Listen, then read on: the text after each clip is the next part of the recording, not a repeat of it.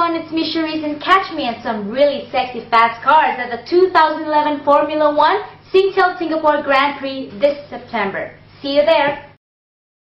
Hello po sa inyong lahat. Ako po ito si Cherise. Catch me in some really sexy fast cars at the 2011 Formula One Singtel Singapore Grand Prix ngayong September. Kita-kits po!